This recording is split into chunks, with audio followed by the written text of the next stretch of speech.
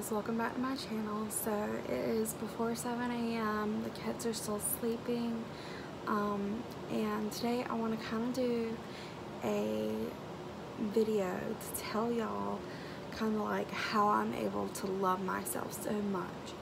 A lot of the times I get asked Angel as a big girl as a girl with a lot of acne, as a girl who struggled with self-confidence her entire life, how are you finally able to completely love yourself and to think of yourself as a beautiful, talented young woman and mother? And I want to show y'all the things I've done, the things I've implemented into my lifestyle, and show y'all how I can make myself feel so much better about the person that I am. So step one, get out of bed before your kids if you have kids. Get up before them so you have a moment to yourself. So both of them are still in sleep. They crawled out of their bed and got into mine. And the next step happens in the bathroom. So this next step may not be your cup of tea but this is all about body confidence and falling in love with your body and the way you are shaped and the way you look as a woman. Get naked. I know, seems weird. But take off your pajamas, stand in front of the mirror while you're brushing your teeth, doing your hair, doing your makeup, whatever you're doing to get ready that morning besides getting dressed, do it all naked while looking in a mirror. I don't know what it is, but the longer I've done this, the more in love with my body I have become. And the more comfortable with my body I've become.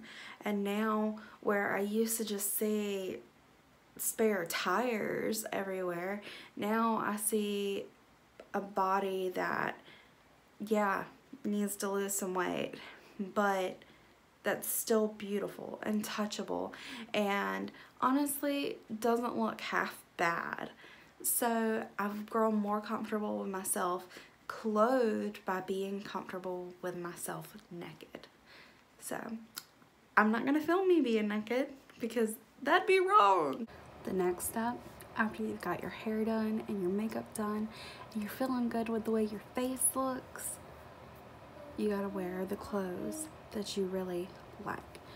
Doesn't matter what anyone says. If a hundred people hate the way you dress or think you're too big or just think that that doesn't flatter you, there are still 7.3 billion people in the world.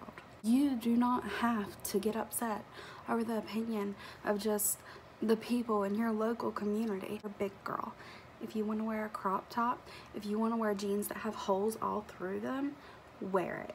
Because I guarantee for every hundred skinny people or even super self-conscious fat people that say something to you there are going to be thousands of young women who are looking up to you and feeling confident because you're out there wearing something that they wish they could guess what? They can.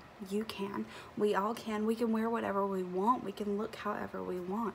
So put on that outfit, whatever it is, and rock it because it's your body.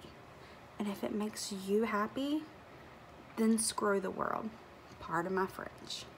All right, the last step that I have to loving yourself to the fullest and being comfortable and happy with who you are is to blast music in your car on the way to wherever you're going in the morning. And it needs to be music that you love to sing, music that you grew up on, music with happy memories behind it, not sad memories. You don't want to listen to sad music first thing in the morning. Me, I love 2000s music. I just love, love, love some 2000s music and I can turn it all the way up and sing as loud as I want. If y'all have like a playlist that makes you feel really, really happy in the mornings, listen to it and jam it as loud as you can. Your kids may hate you and they may say, ew, mom, what is this crap? But if it makes you happy, that's what you need to do in the morning. Because feeling that joy is just going to put a little bit of pep in your step and every time you look at yourself in the rear view mirror or in your visor you're going to be like I like this person in front of me. I like the woman staring back at me so that's it for my tips you guys. I hope that this video kind of gives you some ideas on some things that you can do to be happier and healthier and just love yourself. And just remember even if you're having a really hard day and it's really hard for you to love yourself I love you. I hope that y'all enjoyed this and I'll see y'all in my next one. Bye